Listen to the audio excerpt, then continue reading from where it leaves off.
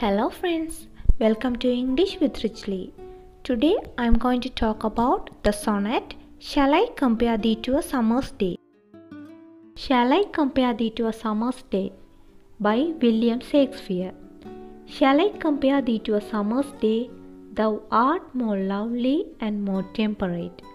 Rough winds do shake the darling buds of May, and summer's lease hath all too short a date.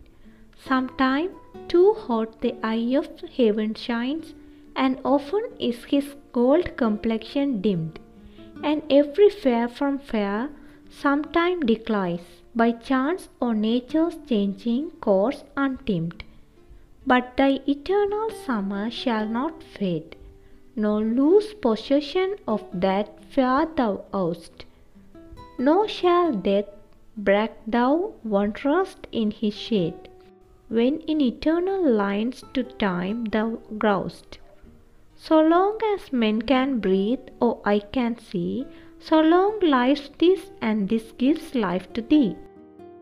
Sonnet 18 Shall I compare thee to a summer's day by William Shakespeare.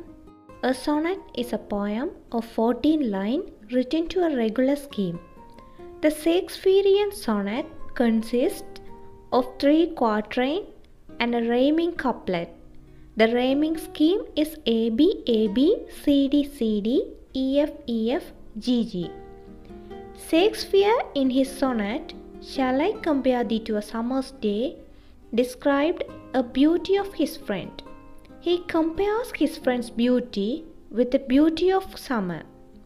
He says that his friend's beauty is more lovely than summer. Thou art more lovely and more temperate.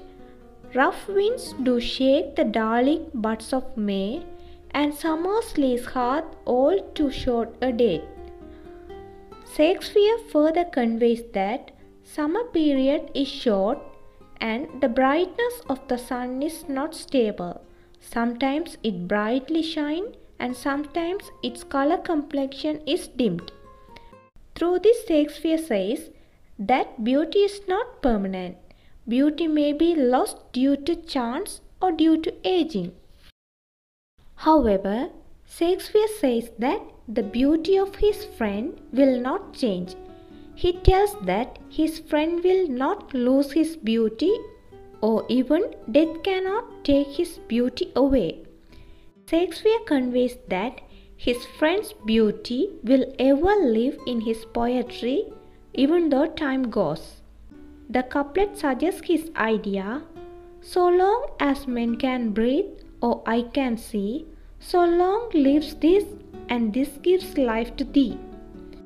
Shakespeare reiterates that as long as men live in this world, his poetry will live and his poetry will give life to his friend.